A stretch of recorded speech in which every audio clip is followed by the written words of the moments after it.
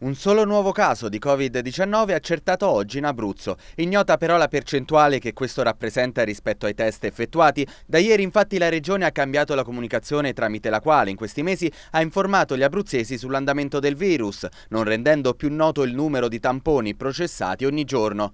Rispetto a ieri vi sono 9 persone in meno ricoverate in terapia non intensiva, in tutto attualmente sono 32, mentre rimangono ancora due persone in terapia intensiva. Altre 337 persone positive, più due rispetto a ieri, sono in questo momento in isolamento domiciliare sotto sorveglianza attiva da parte delle ASL. Ad oggi i positivi al Covid in Abruzzo, di cui si ha conoscenza, sono 371, 7 in meno rispetto a ieri. Dall'inizio dell'emergenza sono stati registrati in tutto 3.284 casi nella nostra regione. Di questi 224 sono residenti o domiciliati in provincia dell'Aquila, 816 in provincia di Chieti, 1585 in quella di Pescara 631 nel Teramano e 25 provengono da fuori regione, mentre per tre casi non è indicata la provenienza.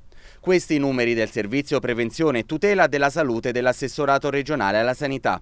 Intanto Hans Klug, direttore della sezione europea dell'OMS, l'Organizzazione Mondiale della Sanità, ha dichiarato che la settimana scorsa, per la prima volta dopo mesi, vi è stato un aumento dei casi settimanali nel continente. Klug ha affermato che in 11 paesi dell'Unione, senza però specificare quali, è stata registrata un'accelerazione della trasmissione del virus che ha portato a un'impennata molto significativa che se non controllata, ha concluso il direttore europeo dell'OMS, potrebbe portare a una seconda ondata in autunno che spingerà ancora una volta i sistemi sanitari europei sull'orlo del precipizio.